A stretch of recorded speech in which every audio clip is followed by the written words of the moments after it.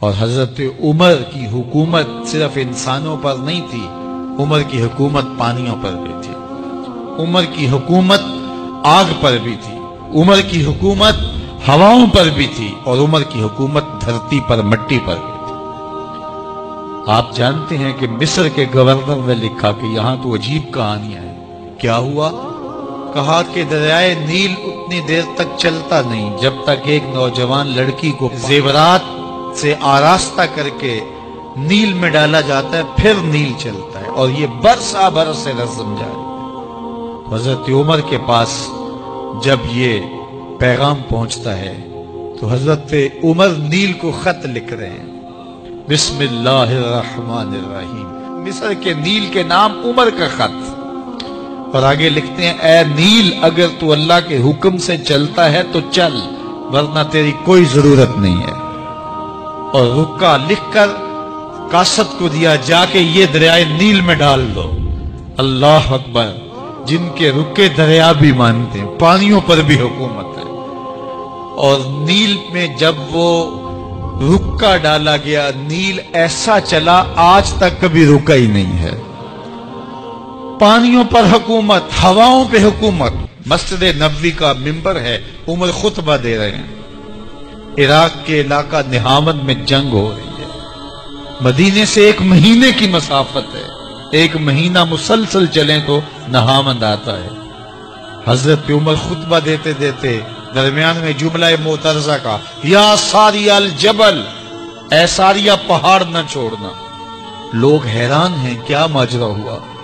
کہ ہم سے مخاطبہ ہے ساریا نہامند میں ہے اور کہا ساریا پہاڑ نہ چھوڑنا۔ ایک مہینے کے بعد جب وہاں سے قاصد آیا، اس نے کہا، اللہ نے فتح دے دی۔ کہا، کیسے؟ کہا، پہاڑ کو چھوڑ کر دشمن پر ٹوٹنے لگے تھے، آگے بڑھنے لگے تھے۔ ان پر حملہ آور ہونے لگے تھے۔ اچانک عمر کی آواز آتی۔ پہاڑ کو نہیں چھوڑنا۔ کیونکہ اگر ہم پہاڑ کو چھوڑ دیتے، دشمن پیچھے سے حملہ آور ہونے کے لیے تیار کرا تھا تو کہا، بس ہم پہاڑ کو اپنی پشت پہ پہ رکھا اور اللہ نے اسی دن ہمیں فتح عطا کر ہوائیں بھی ان کا پیغام پہنچاتی ہیں، پانی بھی ان کا حکم مانتے ہیں۔ اس زمانے میں فائر بریگیڈ سسٹم نہیں تھا، لیکن ایک آگ بھرتی آ رہی ہے شہر کی طرف۔ لوگوں نے حضرت عمر کو بتایا، امیر المومنین، آگ پھیلتی، آگے بھرتی چلی آ رہی ہے اور شہر کو اپنے قابو میں لینے والی ہے۔ عمر اپنی چادر اتارتے اور حضرت تمیم داری کو دیتے ہیں، کہا، یہ چادر لے جاؤ۔ اور ایسے ایسے کرو آگ پیچھے بھاگتی چلی جائے۔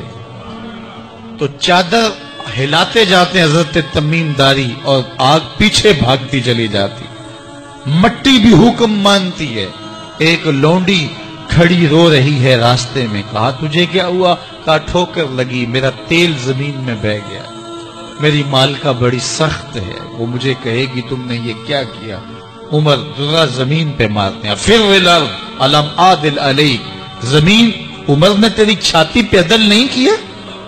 تو عمر کے ہوتے ہوئے اس کا تیل پی جائے؟ زمین تیل باہر نکال دیتی ہیں، فرماتے ہیں ڈال لے اپنے برتن میں۔ تو یہ عمر کے ان کا حکم مٹی بھی مانتی ہے، ان کا حکم ہوائیں بھی مانتی ہیں، دریا بھی مانتے ہیں، ان کا حکم پانی اور آگ بھی مانتی ہے۔ وہ عمر، میرے حضور فرماتے ہیں، ان شیطان یفر من ذل عمر. میرا عمر وہ ہے جس کے سائے کو دیکھ کے شیطان بھی بھاگ جاتا ہے۔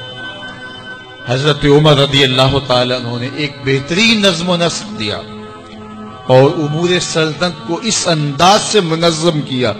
ایک غیر مسلم مفکر کہتا ہے، اگر اس امت کو ایک اور عمر مل جاتا، پوری دنیا پہ حکومت مسلمانوں کی۔